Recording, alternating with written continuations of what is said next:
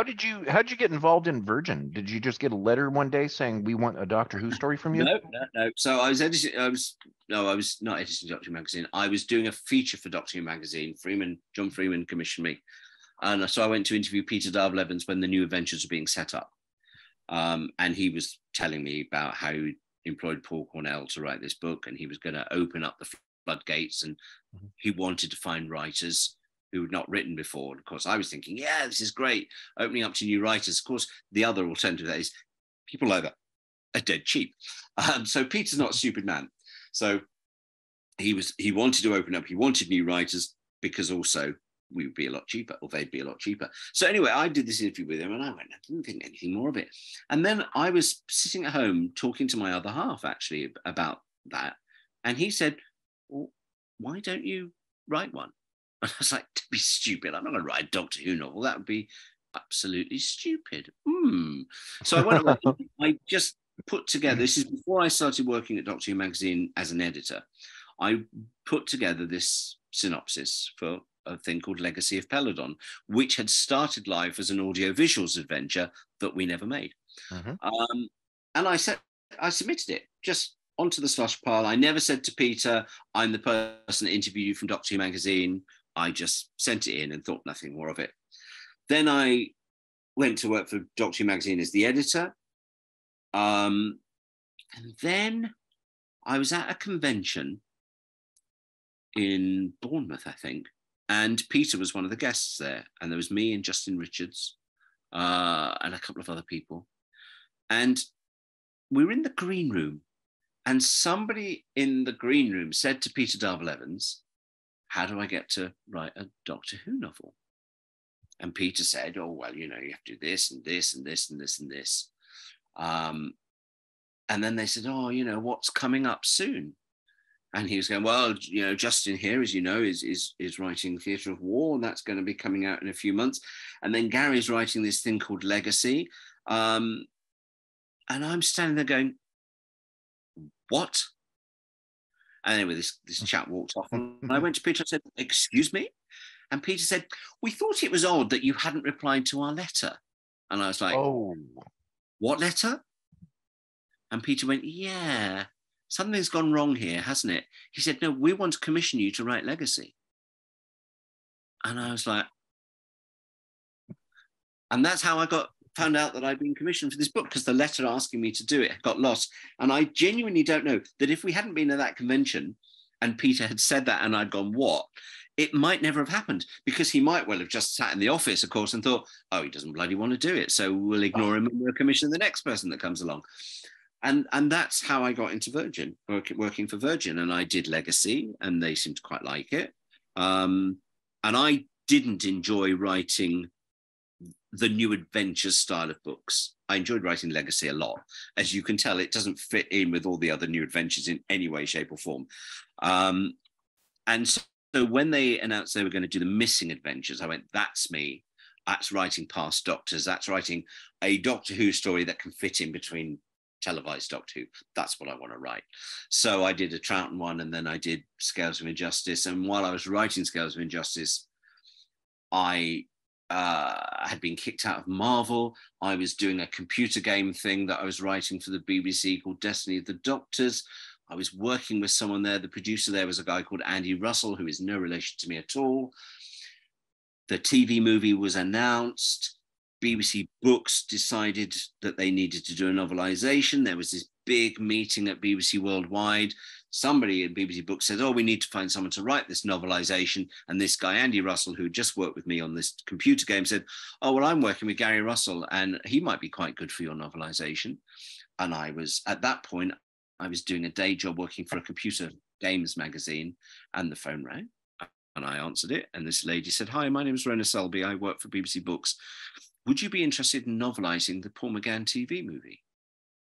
To which I literally, that was the amount of pause I left. And I went, yes, thinking, how? Surely uh, we've all known this movie's happening, but it's bound to be. What, why aren't they asking Terrance Dicks? Why aren't they asking Paul Cornell? There are 10,000 authors better than me that they could ask. why have they come to me? All of that went through my head in a split second. And then I just went, yes, of course. So I went and had a meeting with them and they offered me the job properly. And boom, Bob's your uncle. I was doing a Virgin book at the same time as I was doing the TV movie. I think Virgin might have been a little bit annoyed with me.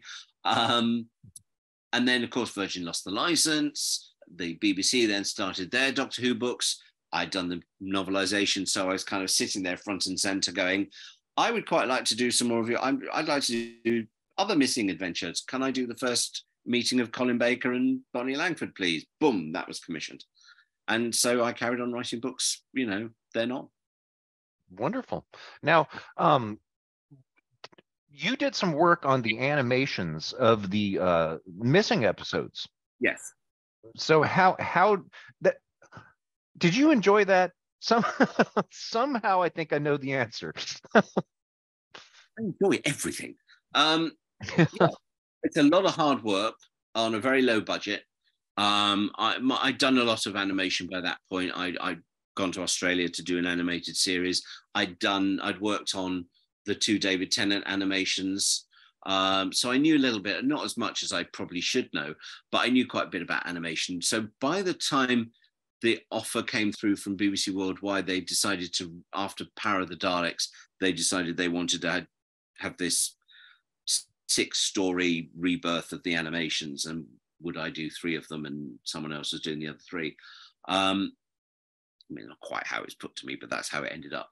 Uh, I, all I could think was, I know animation well enough to know that the money you're talking about ain't gonna it's just not possible it's impossible ah so there were lots of conversations about money um, which jason Haigh-Ellery is always very good at having conversations about money and we got them to up the budget considerably uh, and then we were commissioned initially no we weren't commissioned sorry we were asked to do the macra terror uh, and we did about just in terms of pre-production, nothing to do with animation, pre-production on it. I did about three weeks work on that.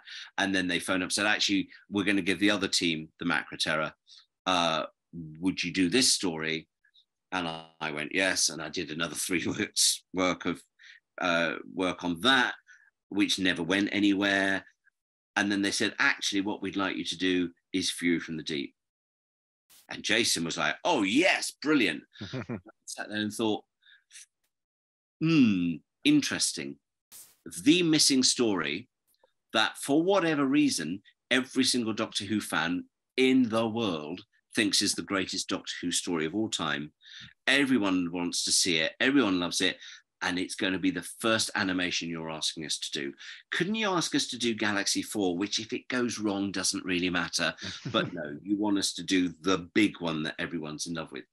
And that's why we did Fury from the Deep. Um, and then we did Galaxy 4, and then we did The Abominable Snowmen, we did Web of Fear, missing episode. Um, and yeah, it was lovely. But you're always battling with 2D animation, hand drawn, frame by frame animation, which is my background. Um, how can I put this? When I was working in Australia, the show I was working on in Australia, the budget for one episode of that, which is 2D hand drawn frame by frame animation, the budget for one episode of that was more than six episodes of Fury from the Deep. Wow. And the budget that I had in Australia also wasn't entirely realistic. It was still way under what it should have been.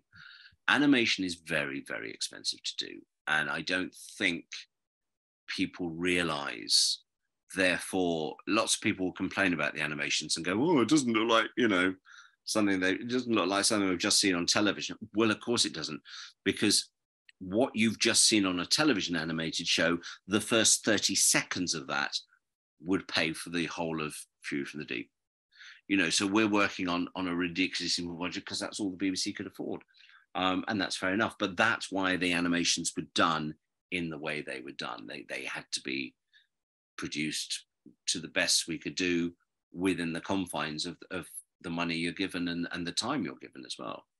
You know, you think about something like Fury from the Deep, which is six episodes. Um, and then you compare that to, let's say, a classic Disney movie, hand drawn frame by frame. So let's look at, say, I don't want to go back to the 40s. Let's look at The Rescuers, right? That's hand drawn, 2D animation. It lasts, I think it's about one hour, 15 minutes, which is three episodes of Fury from the Deep, pretty much. Mm-hmm. I don't want to talk about budgets, but The Rescuers took two and a half years to do 90 minutes or just under 90 minutes. Well, we're doing twice that length on a of the budget uh, in the original plan was we do it in six months. We didn't. We did it in just over a year. But you know, it's that kind of thing. You're just fighting against that the whole time. Um, okay. But it doesn't really matter because it's fun, you know, and it's great. Right. And animating Doctor Who, and you know, one 50% of the audience loved it 70% uh, 30% of the audience thought it was all right 20% of the audience think it's the worst thing in the world and i should be nailed to a cross and hung drawn and quartered um, which is pretty much standard for doctor who fandom on most right so it doesn't really matter and I, I unfortunately for the people that hate these kinds of things i am utterly impervious to criticism uh, because when Legacy came out, my first new adventure, it was ripped to shreds. And I survived that. And I realized if I could survive that, I can survive anything. So ever since that happened, criticism, I will learn from it when people make criticism that's valid. But mm. people saying this is a pile of old rubbish and these people should be fired. oh well, that's what you think, is it? That's that's very smart and intelligent of you. Uh, so I don't care about the criticism because I can't change it. I was right. taught very early on by a magazine editor I worked with, and it was a very good bit of advice. I remember something had been printed wrong in this magazine he worked on, and he'd had letters complaining about it. And he said, Yeah, all I can do is learn. He said, What do they expect me to do? Reprint the magazine with that thing corrected? That's not how the world works. You all you can do is acknowledge the criticism and say, Yeah, we'll try not to do it again. You can't afford to sit down and punish yourself for getting it wrong in the first place. And I've always had that in the back of my mind as a very good piece of, of rationale for anything that happens in life, whether it's work or anything, is if something's gone wrong or something is unliked, someone doesn't like something, all you can do is acknowledge that they don't like it. You can't change it. You can't say, oh, right, oh, you're quite right. I'll go back and reanimate all six episodes of Fury from the Deep to suit you. Right. You're one person or you're 10 people out of 20,000 that bought this thing you know? Um, so uh, my my philosophy has always been generally yeah you, you're right that may be not how you wanted it done or that might have been a mistake or that might be a typo or whatever in anything i'm working in. But i can't change it so all i can do is acknowledge that you don't like it or you found that fault or whatever and move on okay and i think there's a there's a there's a there's a weird thing in, in Doctor Who fandom that a lot of people want to tell you that something is wrong. It's not wrong, they just don't like it. But they want you to know that. And somehow they want you to do something about it. And you think, what you want me to do about it. Because uh, I certainly can't turn around to the BBC and say, I'm terribly sorry, can you wipe the whole of that uh, anim- animation? We're going to draw it again over the weekend because Fred Bloggs over there doesn't like, you know, the, that character blinked at that point. And that's all, you know, criticism is criticism, and you listen to it and you acknowledge it and you smile sweetly.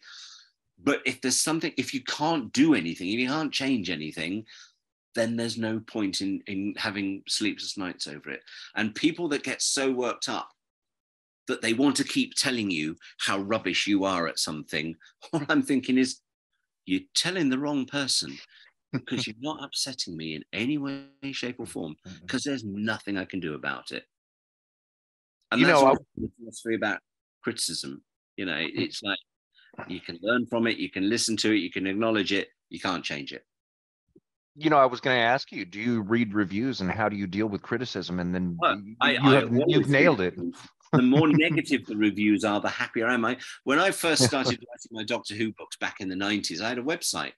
Uh, and all the website was that I didn't ever print the nice reviews. I always made a point of reprinting segments from the critical reviews, the ones that slagged everything off.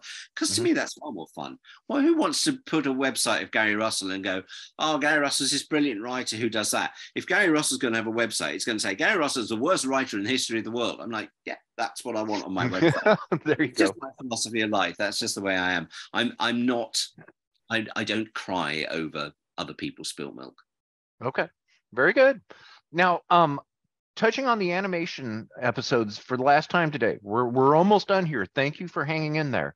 Um, if BBC, I, it was my understanding that BBC America was partially funding the animations or something like that. Yeah, I don't know. I never really got into that side of it because I don't deal with money. You know, I spend okay. money. I'm very good at spending other people's money. I try not to work out where their money's coming from because then I might feel guilty. Okay. Now, well, if uh, BBC proper uh, were to decide to bring back more of the missing episodes in the mm-hmm. future, such as, oh, I don't know, maybe uh, Marco Polo. Um, if they were to do something like that um, and they asked you to be involved, you would say yes, correct? I want to say no, but I know deep down I'd say yes. Um, okay. of course I would. You know, it's right. playing to my ego. Um, it, it's it was the three years I spent on those animations. It's more than three years in the end, wasn't it? Four years nearly. Um, they were exhausting. They were time consuming. I was working seven days a week, probably eight or nine hours a day. I had no breaks, no holidays. Most of my friends thought I was dead. Um, it was an intensive, non-stop rolling thing. You know, we we were working on Galaxy 4 before we'd finished Fury from the Deep. We were working on the Abominable Snowmen before we'd finished Galaxy 4. There was no let up, there was no break. So on those budgets, on those time scales, yeah, I probably would go back. But I really would force myself to sit and think, hang on a minute, do you want to put yourself through this? And that's not to be negative about any of the people I work with, particularly at the BBC, because Russell Minton is the greatest human being on the earth, I think, at the moment. I think he's wonderful to work with. It is the budgets, it is the time scale, and it is just that as a fan, it's that dichotomy of what you want to achieve versus what you can achieve. Um, I'm quite happy. I, I think I'd be happier if someone said, we don't want you to produce this. Uh, uh, just be a bit of a consultant. Just you know, look at it every so often and go, "Well, I'm not sure. Have you thought about doing this or this?" I don't know. No, I'm sure if they turn around to me and said, "Do you want to do Dalek's Master Plan?" I'd be there tomorrow. Do you want to do Marco Polo? Of course, I'll be mm. there. You know, all of that sort of stuff. Because um, I'm an idiot. and, uh, I'm an egotist. And if somebody wants me to do something, then yes, of course I'll do it. But I, I genuinely would sit down and think about it for more than the half a second that I tended to think about other things I've said yes to. Okay, very good. Now getting getting to closing here, moving up to 2005. Were you watching Rose live when it came back on? Yeah. Oh yeah. Well, um, I went round to uh, my friend uh, Jim Sangster and Paul Condon's house to watch it. Um, I loved it. I thought it was great. It was everything I would want from a reboot of Doctor Who. I had okay. no idea on it. Wonderful. Now, um, last question about audios today.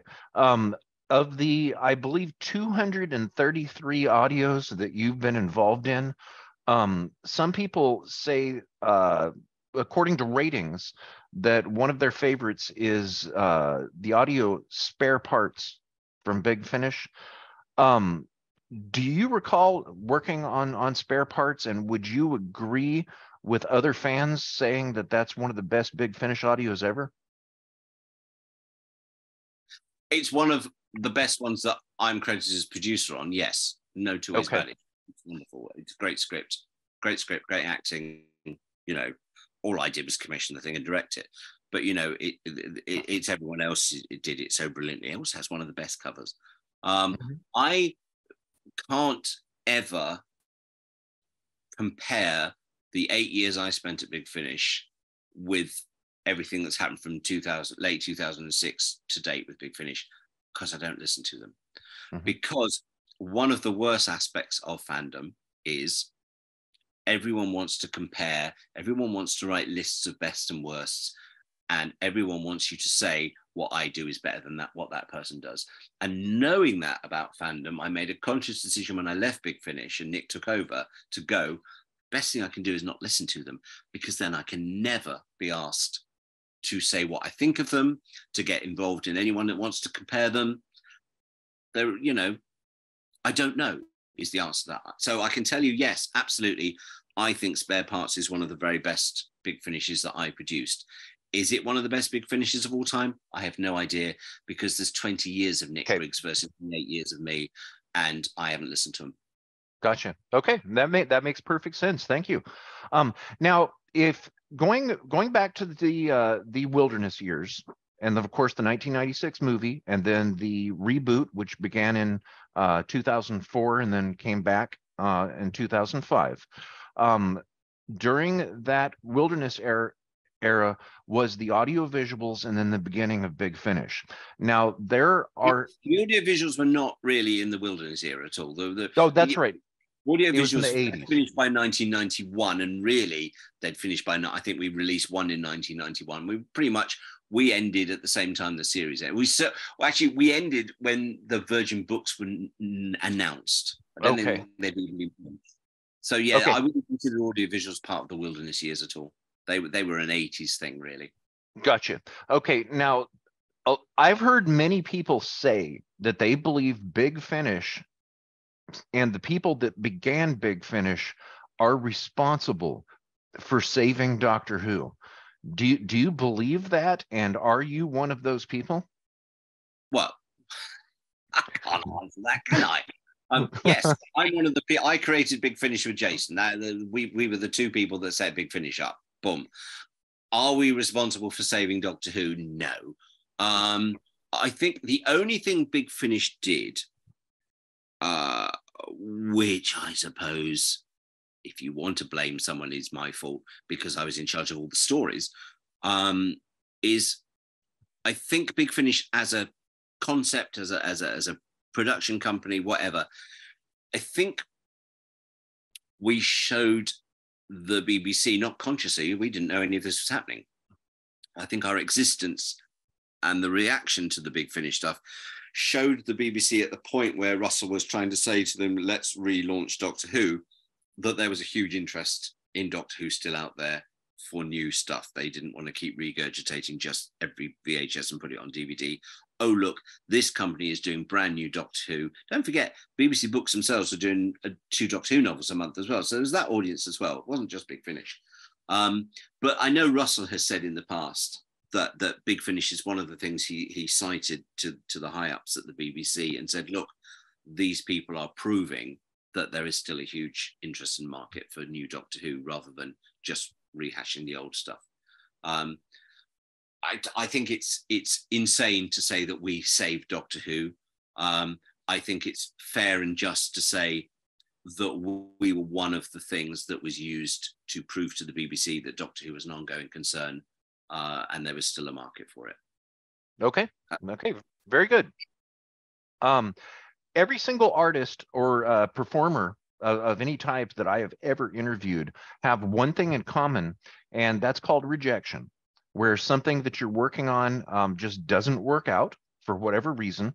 Um, you may believe it to be the best thing ever in the world, and it, it just ends up not happening. Have you ever encountered a situation like that? And if so, how did you deal with it? Um, I'm spoiled in the sense that if we start if we look at it from the point of view of starting with legacy my first book was accepted so i've only had rejections subsequent to that which meant that unlike most hardworking writers i never my rejections came after my first acceptance so I never really struggled with the rejection I had plenty of it. I mean, in the sense of, you know, oh, here's a great idea for a Doctor Who novel. No, it's not. Go away. Shut up, Gary. Oh, so I just go, well, here's another great idea for a Doctor Who novel. No, it isn't. Come back with another one. Oh, oh right. That one is great. Good. We'll, we'll do that one. I never really have suffered hugely that feeling of oh my god everyone keeps rejecting everything i ever do i i'm i'm like a spoiled child in that one um, in that I was just incredibly fortunate and lucky that my first idea got accepted. So I don't feel that I've earned the right to say, oh, yes, I've suffered tons of rejection. Things have been rejected. I have been upset by things that have been rejected. Um, but I've never sat down and and thought, oh, I've had so many things rejected, I'm wasting my time here. I don't think I think like that in life anyway. I think generally, if someone says no to something, I go, Well, you're in charge. You know what you're doing. Put that one away. How about this one? I, I'm not very, I don't get resentful of people that say no to me. I work on the assumption always they're paying the money. So if they say no, then then no is fine. Um, I've had arguments with people, particularly editors, um, who will say, I want to change something, that's a whole different ball game. And they go, "This is a pretty good book, but could you do this, this, this, and this?" And it goes back to me. We'll go, "Why?" There you go. You know, Gary with the school teachers, why? Right. Um, and you know, a good editor will say because, and a bad editor will say because I said so, and if you don't do it, I'll do it. Um, and I've worked with both of those. Uh, luckily, never on a book. Um, but I have worked in other things with people that have just gone, oh, I'm just going to change it then if you don't want to change it. And I'm like, okay, don't employ me ever again, please. Um, but that out and out sadness of rejection and feeling, no, I, I don't think I could sit down and go, it's tortured my soul. Um, because I think I've just been ridiculously lucky on quite limited talent. I've been ridiculously lucky that I've never had to face that awful thing of rejection that has made me doubt what I do and made me go, that's it. I'm never doing another one of those because of. I frequently go, that's it. I'm never doing another one of those for other reasons, but it's never been because of something rejection.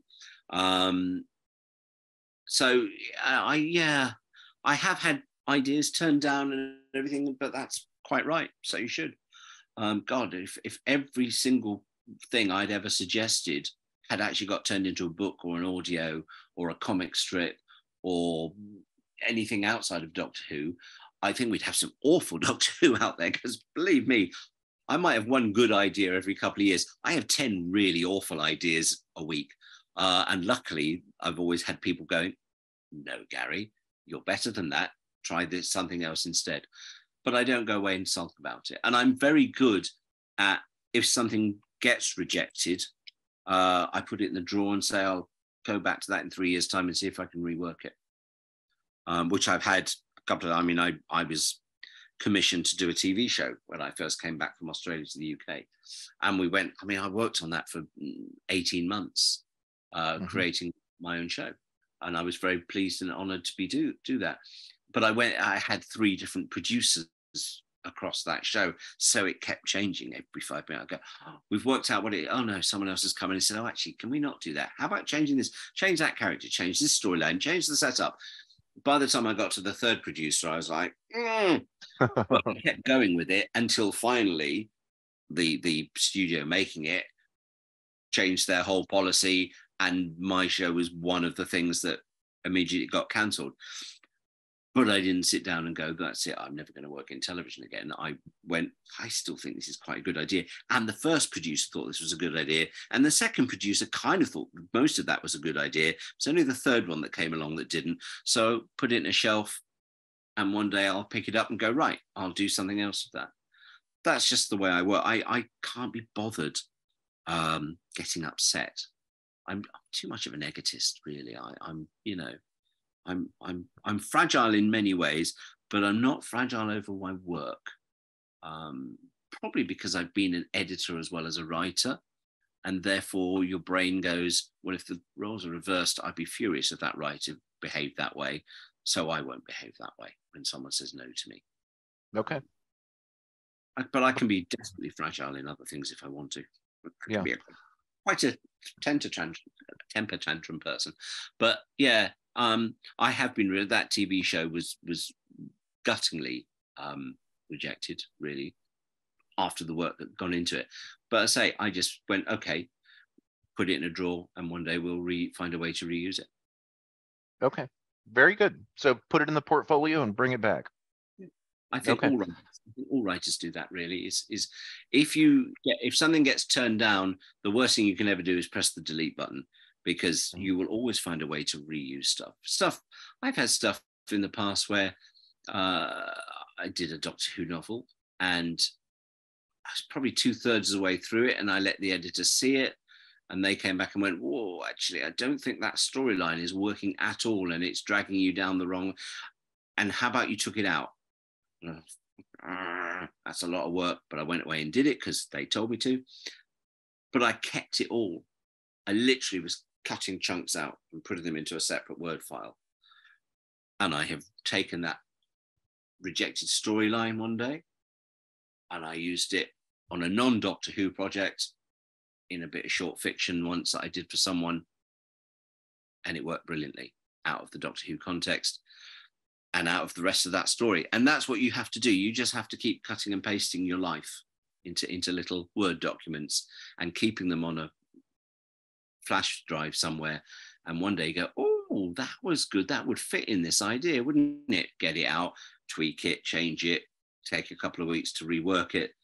Bang. Yes, it was a good idea in the first place, but it didn't work in that Doctor Who book. And they were right to make me take it out. And now I've done something with it. 10 okay. years later. Okay, very good. Um, as we wrap up here, I want to mention two people that you know, um, author Andy Lane uh, mm-hmm. and his uh, wife Helen uh, Sterling Lane, um, who I'm grateful to. Um, Andy was an inspiration to me accidentally a couple of years ago when he had written something online about how he was excited about how his first BBC audio novel for Doctor Who was coming out. And he uh, kind of really made me think how does that feel? How does that feel to become accomplished, to have your name down in Doctor Who and British cultural history forever? It, it, really made me wonder for years how that must feel. Now, with you and your career, thinking back, do you recall a time when something that you worked on came out and that you were just thrilled to death, where you couldn't believe you'd been involved in this, where this is really super awesome? When I was little, and I used to go to WH Smith's, which is a bookseller chain in the UK, and buy Target Doctor Who novels. It was the most exciting thing in my life was to go and find a Doctor Who novel because in those days there was no fandom, so I, you, know, you, didn't know when the new book was coming. You walk into, oh my god, there's a new Doctor Who book. Ah, I must have it. That was exciting. When Legacy was published, I remember I went home to visit my mum and I went into the WH Smiths that I had spent my entire life buying Target books from back in the 70s. Mm-hmm. And I walked into that WH Smiths and there was a copy of Doctor Who Legacy on their shelves. I didn't cry. I don't know how not, because I was going to, but that was the magic moment for me where I went, the circle is complete. And I took that copy of Legacy and I turned it so the front cover was facing out. I can't remember, it's probably blotting out Paul Cornell's or something like that. But I put it so that the Legacy cover was the top of the thing facing out so the next person walked past that shelf would see it. And all I could think was, all my life, I'd wanted to be on that shelf in that WH Smith's in my hometown. And there it was. And I can tell you now that I wrote Legacy, or the Le- Legacy was published in 1994. So 2004, 2014. So almost 30, well, it's 30 years since I wrote Legacy, let's put it that way, but nearly 30 years since it came out. There has never been a book, cartoon, a comic, a cartoon DVD, all the myriad things I've done, there has never been anything where I haven't walked into a shop anywhere in the world and seen it on sale and not had exactly that same feeling 30 years later. Wow. Every single time uh, something I've been involved with goes on sale in a shop and I see it, I still get that same feeling I got when Legacy was published in 1994. Wow. I don't get the tears, but I've never lost that feeling of how absolutely thrilling is it that something I have done is on a shelf and someone is going to come along in a minute and they're going to pick it up and with their money that they've earned they're going to buy something that I created. I've never lost it. I'm so glad I've never lost it. Um, but every single time I see, even today, I can walk into Forbidden Planet in London on the rare occasions I go to London, and there might be four of my books sitting there, and every single one of them has me going, and someone's paid, going to pay money for it. And it's so exciting, and it never stops being exciting. And I think as a writer or a creator of any kind, if ever you go into a shop and you see something you did or coded or you're part of a team that did something, whatever, if ever you walk into somewhere and you don't feel that, you're in the wrong business. If you don't feel that moment of excitement of seeing something you did on sale in a shop that someone you don't know is going to come up and pay, money for. If you don't have that feeling of pride, excitement, thrill, then you're in the wrong business. I think Beautiful. Beautiful. Wow. Okay. Now, if someone young or old were to be watching this interview or listening to it in the future, somebody that may have dreams I or goals. apologize to them completely. I'm humbly apologizing. Listen to my insane ramblings. If some someone wanted to do the things that you've done and they wanted to learn from you by your experience which you have very clearly explained in a beautiful manner thank you if, if someone were to look at this to learn from it um, someone who with dreams or goals of perhaps uh, becoming involved in animation being an actor in a movie um, being a script editor in anything, not just Doctor Who or Torchwood or Sarah Jane, um, being a magazine editor, being an author, um, and other things. What would i- i- do you have a single piece of advice that you could give them? Never, ever give up. Okay. No matter what is thrown at you, if you want to do something, keep going, particularly writing, I think, but anything.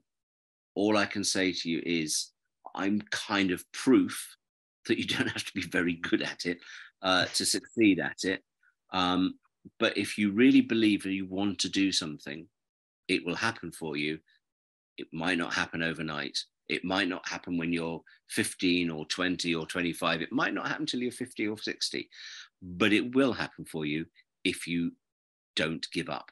If you give up, then it can't happen for you because the only person in this life that can make things happen is you. And therefore, never give up. Okay. Very good. Where do you like to be found online? Uh, I'm on Twitter, um, which is uh, Twilight Streets. I'm on Threads, which is Twilight Streets 2008, because I couldn't get Twilight Streets. Um, so that yeah, I mean, Twitter is is is my main sort of. If I'm anywhere on social media, that's where I'll be.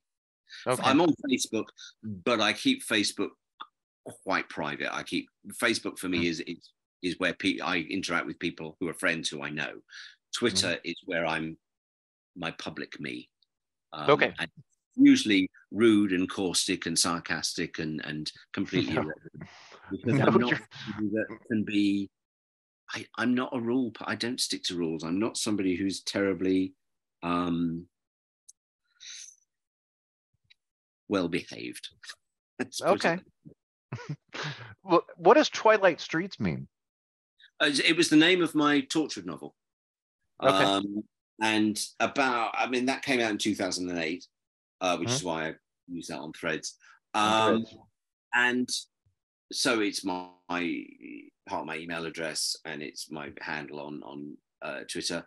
Um, and I just I was very proud of that tortured book, and at a time when I needed to have a name on Twitter, somehow that just came out. Um, I can't remember whether it was my email address or whether it was my Twitter handle first. I can't remember which way around it was. Um, but yeah, I, it's just it's quite unique. There aren't at that point, no one else was called Twilight Streets.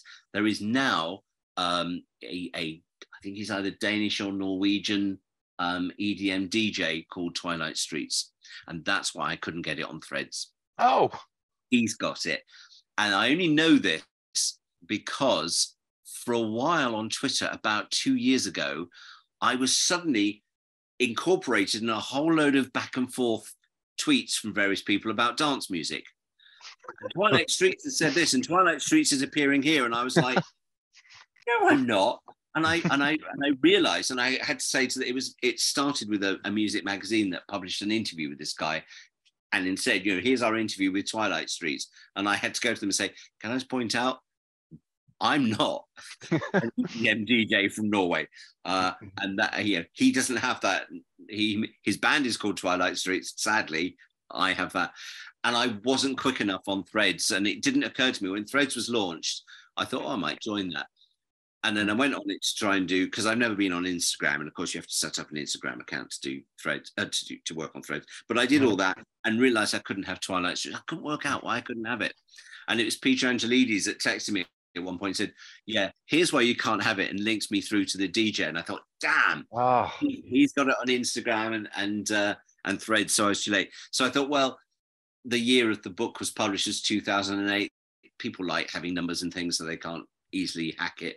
So I stuck the 2008 on the Threads version. So I'm Twilight Streets on Twitter and Twilight Streets 2008 on Threads. Okay. So they're the places to find me. Okay. That was the most long-winded answer to the simplest of questions. I, well, you, I just can't shut up. To to add to that, I was going to say that Dutch DJ must have been awfully fast because Threads just started last week, I think. I, yeah, but I think actually he probably because I was never on Instagram, so I suspect he's been on Instagram with that uh, name. Uh, so when you set up Threads, it uses your Instagram name. Yeah, um, so that that could have already been taken years ago then actually. Yeah. So, okay. Um and let's see here. Do you have a favorite charity, sir?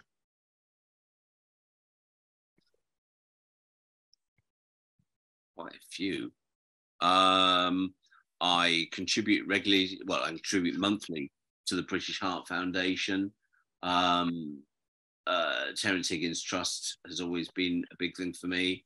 Um, I have done stuff. Uh, oh God, yes. I mean, yes and no. I mean, I, I over the years I have dipped in and out of doing charity stuff in the sense that I have a couple of standing orders on my bank account, and every three or four years I change them to a different charity. So there's always stuff coming out of me going into charities, but it varies. Do I have a favorite charity? No, if you really pinned me down and said something, I'd say it would best be something to do with animals.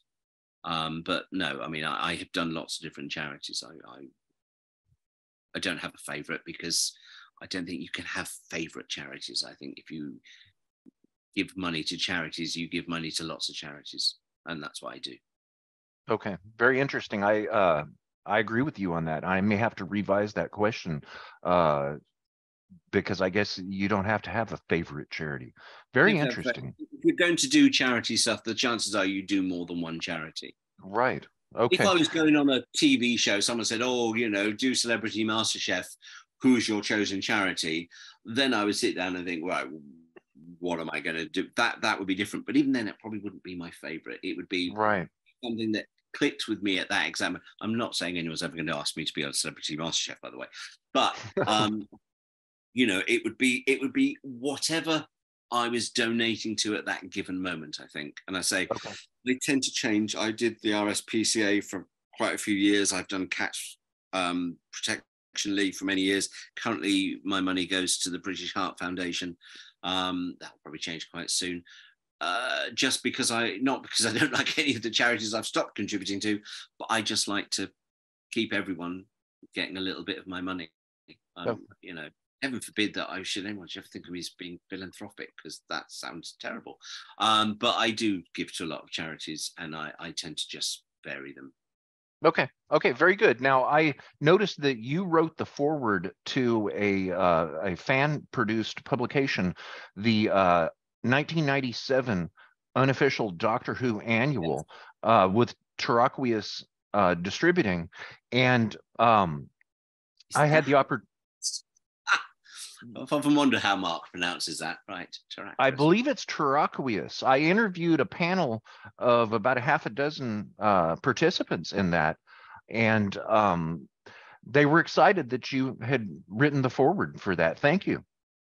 Oh, how very flattering. Oh well, uh, you know, Mark got in touch with me, um, and and he interviewed me about the comic strip stuff with Lee. We did a sort of we did a three hander or we did back and forth. I can't remember which. Uh, and I'm very proud of that comic strip. Um, and then when that was all over and done with, he suddenly said, "You do you fancy doing an introduction?" In a, I think he thought I was going to say no. That's like, what part of ego do you not understand? Of course, I'm going to say yes and I, I, I love these annuals that they've been doing. I think they're brilliant. I've got them all up on my shelf over there, every single one of them, apart from the ones that I haven't got, like the master one. So I'm waiting for them to reprint.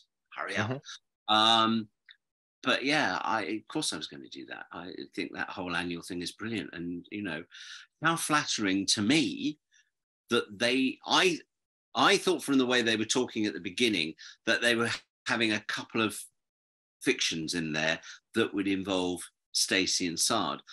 Genuinely, it wasn't till the annual arrived on my doorstep that I realized everything in it is about the Doctor Stacy and Ssard. And I sat there and looked at this. I wouldn't call it a book, it's a brick. You know, if someone wants to burgle my home, I'm going to hit them with that because I'll kill them. Um, it, it's massive. And uh, it's just full of these two characters I created with Lee, you know?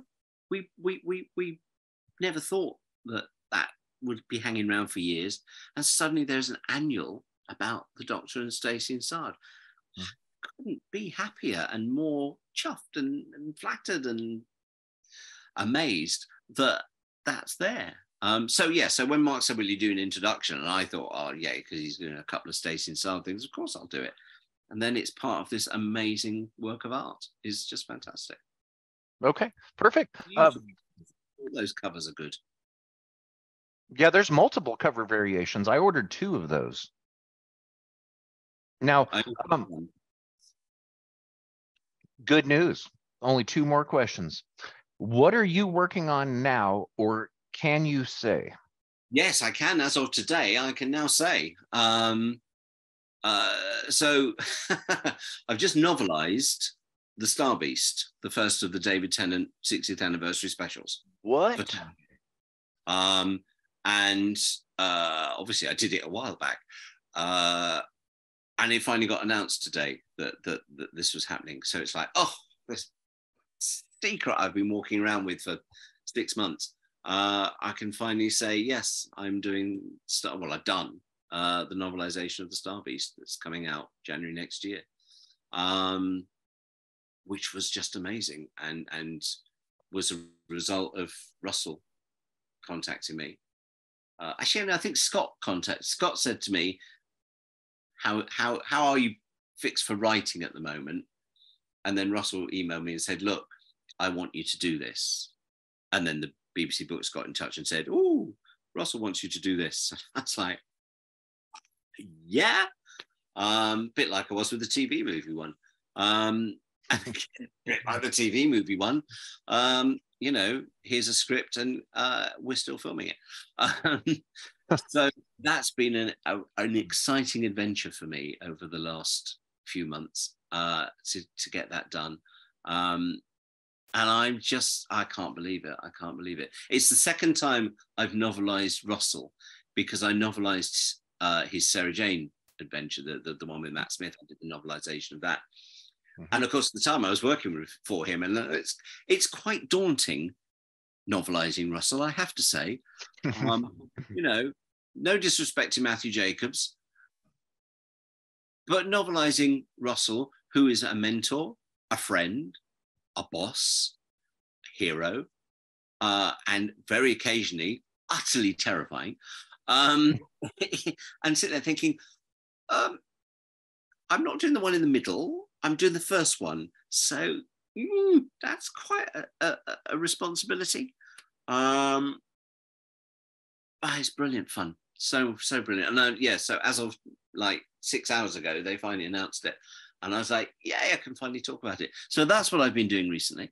Um, and what else am I doing? Um, I'm doing some editorial work, which is quite nice. I haven't done any editorial work for a very long time uh, for some stuff for Cutaway Comics. I've written an Inferno comic for Cutaway Comics, which is just gone. I, I wrote it about 18 months ago, but um, they've had a big backlog of stuff. But John Ridgway, my all time favorite Doctor Who comic strip artist, uh, is drawing it as we speak. I've seen the first two pages of that. Um, so I'm quite busy at the moment, and it's wow. nice. It's really nice. Um, but yes, it's the world of Doctor Who. It never you can't escape it. And now, now I don't want to. There was a period about five six years ago where I thought I'd had enough of Doctor Who, and Doctor Who, more importantly, had probably had enough of me. And now I'm like, oh, I get lots of opportunities to do lots of new and exciting things. Um, I've thoroughly enjoyed doing the novelization. Uh, a friend of mine, uh, who I will kill for pointing this out to me because it hadn't occurred to me. Uh, when it got announced today, everyone was texting me going, "Oh my god, this is fantastic! This is great! Oh, well done, well done!" And and then my friend Andre, who lives in in Dublin, texted me and went, "Yeah, last time you novelized a Doctor Who story, it got taken off air for the next nine years." I was like, oh. "Thanks for that. Thanks. That makes me feel great. That does." Um, and, and, and I threatened to kill him, but luckily he's So you know that's across the water and a long way away from me, so I can't kill him. Um, but I did think that was really smart and funny, and I wish I'd thought of that one myself. Um, so yeah, things things are quite nice at the moment. Wonderful. Okay, well, congratulations on on being able to uh, announce uh, your novelization of Doctor Who Star Beast. Um, I'm I'm definitely going to be ordering and reading that. I want it to be called Doctor Who and the Star Beast, but I mm-hmm. suspect mm-hmm. it's just going to be Doctor Who, the Star Beast. Such a shame. Okay. It needs, an and there in there, I think, on the book, like the old targets used to be. Should it be a DR Who or Doctor Who oh, no, and the Star? Nothing should ever be DR Who. Oof. Okay. nothing should ever be DR Who. Okay. So, so having novelized this uh, upcoming television episode or special. I don't know which it's going to be yet, and I'm sure you probably can't say. Um, how how do you feel about that? Is it is it is is that just as exciting as to walking in the bookstore 30 years ago and seeing your name on the novel on the shelf? Uh, it'll never go away. Okay. It'll never ever go away for me that feeling. Just wow. the announcement today, you know, and there's not even a picture of the cover because because the cover hasn't been probably done yet. I don't know. Uh, okay. But the cover's just blank and just, you know, it says Doctor Who, The Star Beast by Gary Russell. And I'm just like, oh, that's the most exciting thing in the world. I can't, I wish I could. I wish I could flick a switch and not be excited and enthused and in love with this. But no, it's just that same feeling. Is it's every time, and is it nice to be able to say every time it happens? But every mm-hmm. time something is announced or turns up that my name is on or I've been part of a team doing something, I still get that exact same thrill and excitement that I got in 1994 when Legacy came out. And I'll be honest with you, I got when Phoenix and the Carpet and the Famous Five went on telly and and all of these things, everything that that I've been involved in, I'm so damn lucky. And therefore it would be wrong to be anything other than excited by them. Okay, that is awesome. I'm damn lucky too, and I'm glad I got a chance to talk to you. Um, because thank you so much. Yep. How, how do you waffle? Well, how, how, do you how do you feel about the upcoming? I, I think I already know the answer to this. The upcoming three uh, specials with David Tennant uh, and and Catherine Tate returning, and then of course we have the new era with Ncuti Gatwa. What are your feelings? Well, um, all I can tell you my feelings for for, for the David and and, and uh, Catherine stuff is having done Star Beast is Oh, it's going to be brilliant um, because it's David and Catherine, and they are the dream team for me. Um, and everything I know about Ncuti and his series, which I can tell you isn't about that much, um, because all I've done is seen some photographs. I just think it looks fantastic. But you know, Doctor Who has been lucky since it came back in 2005 because it's had three brilliant showrunners running it. And I say this with no disrespect to Steven and Chris, uh, but it's the best one has come back. I think Russell is is probably the greatest living writer in Britain today of television. Um, I think there are very few people that have his vision and very few people that have his amazing talent to write fluffy sci-fi nonsense and tear your heart out at the same time. And that to me is the mark of a good writer. That it doesn't matter what the genre is, the quality of the writing affects you on an emotional level. And I know nothing about the other two specials, you know, absolutely nothing. I haven't seen a script. I only found out what they were even called when that trailer came out a couple of months back. It's the first time I'd ever heard of Wild Blue Yonder and Giggle. Was like, but Star Beast, I just, yeah, I, it's, it's Doctor Who. It's funny. It's clever. It's gripping. It's heartrending. Um, and it's, you know, written by, I say, the greatest writer and acted by the two best people in television today. I think Tennant is one of the greatest actors ever to come out of Britain. And I've always loved Catherine, long before she was in Doctor Who, I love Catherine Tate because to be a comedic actor, before you can be a comedic actor, you have to be the very best straight actor because otherwise comedy doesn't work. Comedy just becomes stand up other than that. Um, so to be able to portray all those different comic characters in her show back in the in, in the early 2000s she had to be the brilliant actress to be able to do that so to take that and put her in doctor who I, from the moment runaway bride happened i was like she's amazing then when they brought her back for for series four i was just like this is I said, oh, this is the dream team david tennant and catherine tate so to have them back again and, and, and having another bite at the cherry as a Doctor Who fan, I'm in seventh heaven. It's just going to be wonderful. And then Russell's in charge. It can't get better. There you go. Okay. Well, as a Doctor Who fan, I'm in seventh heaven also, and I don't know what I did uh, to be able to um, have the opportunity of speaking with one of the most legendary, historic, and involved people ever in the entire history of Doctor Who. But I thank you legendary makes me sound like I should be on. It should be written on a tombstone. I should be dead. Um, Sorry. I'm really not that important. You know, it, there there are just one of a very lucky group of people who in the 90s got the chance to go from being Doctor Who fans to being Doctor Who fans with a slightly higher profile and every so often somebody puts a check in your back pocket. It's luck. It's total luck. You know, I'm not great. I'm not ultra talented. I'm nothing special or more unique than, than any of the others, um, and significantly worse than a lot of them as well. Um, so it's very nice and flattering that you say that. But it just makes me feel really uncomfortable because it's not true. You know, I'm not a legend. That's an awful word to give me. Um, I'm just a jobbing writer, producer who has just been exceptionally lucky. Okay, very good. At the very beginning, in the right place at the right time. And if it wasn't me, it would have been somebody else. Thank you again, Mr. Russell. Have a nice You're evening. A Thanks, Greg. Take care, mate. You too, sir. Bye bye.